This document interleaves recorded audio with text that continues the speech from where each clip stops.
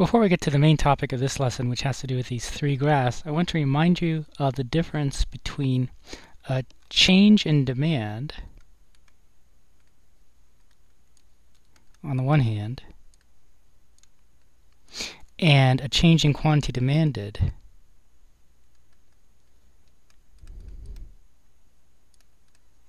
on the other hand.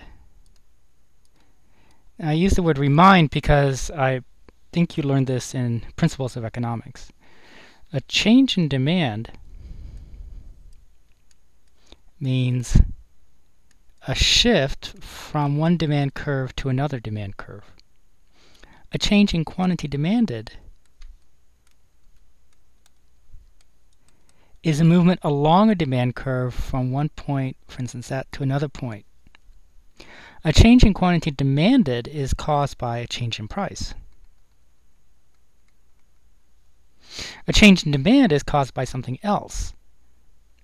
Changes in price cause a change in quantity demanded. The demand curve doesn't shift position. A change in anything other than price that affects the demand for a commodity causes a change in demand. For example, a change in income would cause a shift in the demand curve. Or finding out that one commodity improves health and you didn't know that it did before would be a shift in the demand curve. So that would be a change in demand. It wouldn't be a change in quantity demanded. At that's the way we use these these terms. So a change in demand is a shift in the demand curve. A change in quantity demanded is a movement along a single demand curve.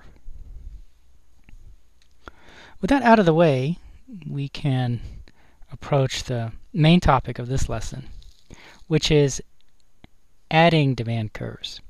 So we've thoroughly studied now where demand curves come from for each individual. What I've drawn on the left-hand part of the screen is a demand curve for person A and a second demand curve for person B. And we want to find out how to add them to get the demand curve for person A plus person B.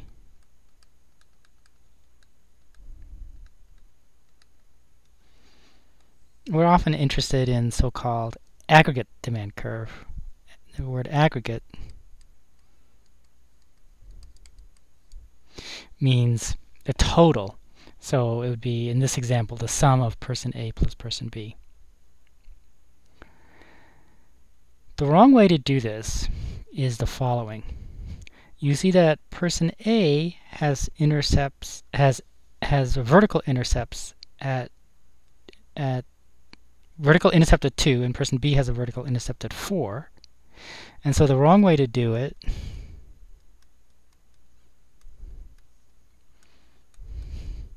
is to say 2 plus 4 is 6. Person A has an x-intercept of 2, and person B has an x-intercept of 4, so I say 2 plus 4 is 6. You put 6 on the x, and you draw a demand curve like this. This is not right. And we'll see why. The right way to do it is to ask, for any certain price, what is the quantity demanded for A, person A, what is the quantity demanded for person B, and then what's the quantity demanded of A plus B. So let's take a price that's above 4. At a price above 4, which is which is over here, person A clearly doesn't demand anything. Person B doesn't demand anything either, because the price of 4 is where where the demand curve hits the axis, so anything higher than 4, the demand is going to be 0. So at a price higher than 4, person A doesn't want anything, and person B doesn't want anything, so nobody wants anything, so person A plus B is going to be 0. And therefore, on the person A plus B graph, we can draw a 0 at a price higher than 4. And actually at a price equal to 4. Now let's do a price equal to 3. I guess I'll use a different color here. So at a price equal to 3, person A is demanding nothing. Person B, however, is demanding something at a price of 3. Let's see what that is, and I'm going to pause just to draw these lines.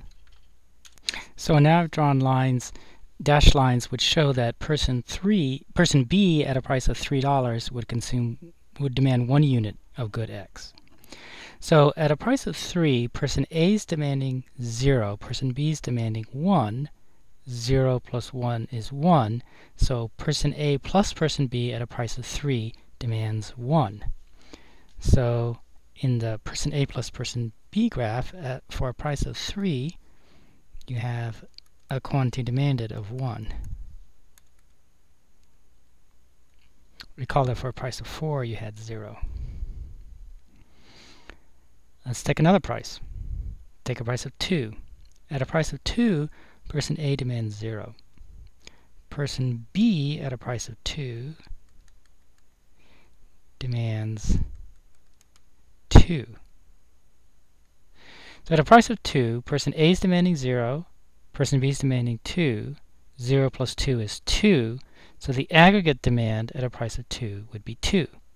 So in the aggregate demand curve for a price of 2,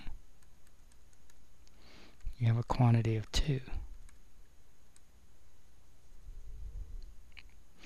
Now let's go to a price of 1. At a price of 1, person A is demanding 1, so person A is now in the market. He's, he's demanding more than 0. And at a price of 1, person B is demanding 3. So person A is demanding 1, person B is demanding 3, 1 plus 3 is 4. So at a price of 1, the aggregate demand is 4.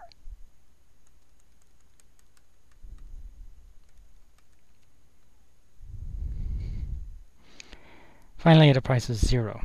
And a price of 0, person A is demanding 2. Person B is demanding 4.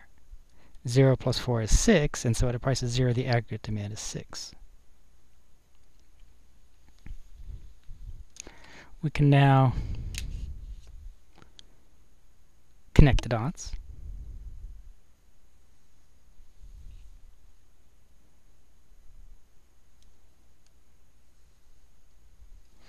And we get an aggregate demand curves, curve that looks as follows. So you can see to what extent the graph in the lower right that, that I indicated was wrong was actually wrong. The, the incorrect graph shows that at a price of, let's say, 5, there's some positive quantity demanded. But you see that in the correct graph, for a price of 5, nobody's in the market. A is not in the market, B is not in the market, so A plus B is not in the market. So the wrong graph is just not the right way to do it. You also notice that at prices above 2, the person A plus person B graph is the same as the person B graph because person A is not in the market at prices above 2. The slope of both person A's demand curve and person B's demand curve is minus 1, the way I've drawn it. And you can see that in the aggregate demand curve, the slope is minus 1 between prices of 2 and 3 because it's exactly the same slope as person B's. Below a price of 2, the slope is not equal to minus 1. Person A's slope is minus 1. Person B's slope is minus 1. But the aggregate demand, for example, if you wanted to compare this point with this point, and calculate rise over run to get the slope, the rise is 0 minus 2. The run is 6 minus 2. So you have minus 2 over 4, which is minus 1 half. So the slope here is minus 1 half, which is closer to 0, in other words, flatter, than the slope of either of the individual's demand curve. And that's the typical result, that when you add demand curves, you get a flatter slope. One of the reasons why this notion of adding demand curves can be confusing is because it contradicts the way that you learned how to add functions in mathematics classes. In mathematics classes, you have some function f of x and some other function g of x. Uh, let me draw that a bit differently. Then the way you were taught to add functions was the following. Start with a particular x value, measure the f distance and the g distance, and then add it up. Get another x value, measure f distance, g distance, and add that up. Get another x value, f distance, g distance, add it up, and then the answer is f plus g of x. Sorry, this is getting a little confusing there. That's called a vertical addition of curves. And you do that not only in math class, but in almost all other instances where you want to add curves. But economists need to add demand curves horizontally. So what I showed on the lower, uh, on the left-hand part of the screen with these three graphs is a horizontal summation of demand curves. You started with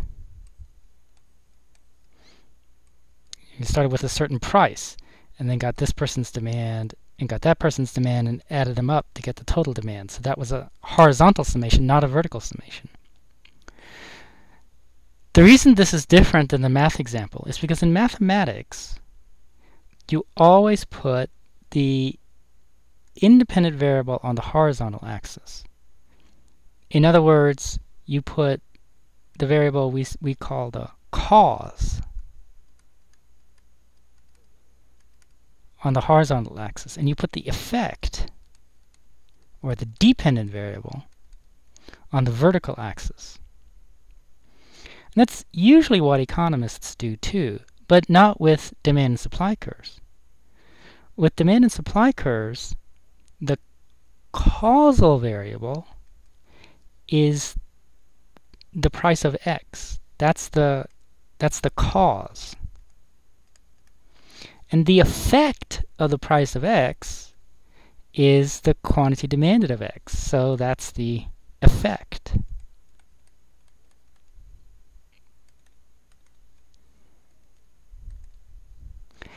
So when supply and demand curves, cause and effect are flipped. The cause is put on the vertical axis and the effect on the horizontal axis. Whereas in every other graph that you ever studied, cause is put on the horizontal axis and effect is put on the vertical axis.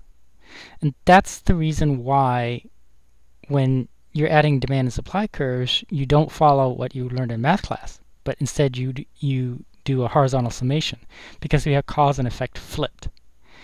Now, it's natural to ask why do economists flip cause and effect just for demand and supply curves, whereas economists don't flip cause and effect for any other curves, and nobody else in all of science and engineering or social science or whatever ever flips the curves. It's a historical reason. When Alfred Marshall wrote The Principles of Economics, which was the first neoclassical economics textbook in the late 19th century, he put effect on the horizontal axis and cause on the vertical axis. In particular, he, he put price on the vertical axis and quantity on the horizontal axis. And I'm not exactly sure why he did that. I think it has something to do with the fact that he was analyzing not only perfect competition but also imperfect competition, where a firm can think that it can affect price, and therefore price might actually be an effect, and and uh, quantity might be the cause. So a firm, an imperfectly competitive firm knows that if it, it can change its quantity and therefore it affects the price that it gets. But for our purposes with perfect competition, price is always a cause, quantity is always an effect. So it's an unusual situation, and you just need to be aware that you, economists uh, need to add demand curves and supply curves horizontally. Demand curves and supply curves always have to be added horizontally.